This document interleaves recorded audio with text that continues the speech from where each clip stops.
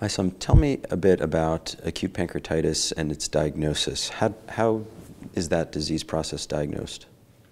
So, acute pancreatitis is a, a a condition where the symptoms are making us think, could this patient have pancreatitis? So first, they want to have the symptoms that are typical of pancreatitis, the higher up in the belly, which we call epigastric pain, with or without the vomiting. So having that, and then you need another criteria to make two out of the three diagnostic criteria. So these other ones we look for are whether the patient have lab elevations of lipase or amylase, and these are the pancreatic enzymes that get elevated in the blood, and they are usually three times the upper limit of normal for that lab.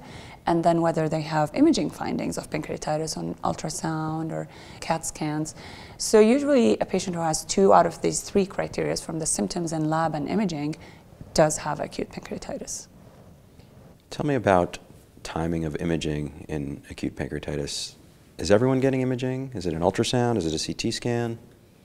So that's a great question, and we have found that using an ultrasound, at least for a first attack presentation, could help A, confirm the diagnosis, B, looking for some of the anatomic things that you could find, or even diagnose gallstone pancreatitis in that case, where the child will benefit from a specific therapy to treat that gallstone disease, for instance, by taking their gallbladder out we don't have imaging in every case of pancreatitis if the child, for instance, is known to have acute pancreatitis and this is just another attack and we know it's going to be a one to two days, just the usual recovery.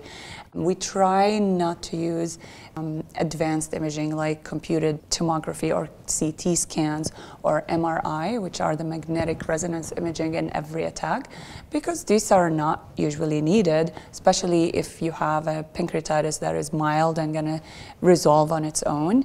But when the cases get complicated, we sometimes do need to use those kind of more specialized imaging to look for those complications and perhaps intervene when the child needs it truly important to recognize that we really don't need imaging on every episode of acute pancreatitis, but really it plays a role to help guide therapy if we're really concerned about a complex course development of complications.